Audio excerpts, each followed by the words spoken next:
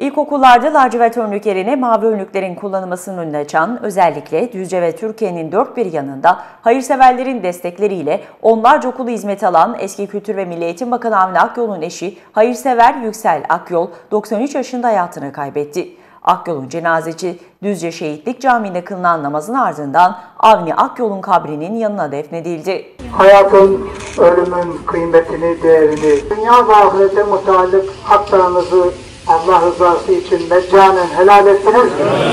Helal ettiniz? Helal ettiniz? Allah Teala şahitliğinizi, helalliğinizi dergahında en güzel şekilde kabul eylesin. Cenazeye Vali Selçuk Arslan, Milletvekili Ercan Öztürk, Başkent Üniversitesi'nin yöneticileri de katıldı. Allahu Ekber. Allahu Ekber. Ruhi için Allah rızası için. El Fatiha.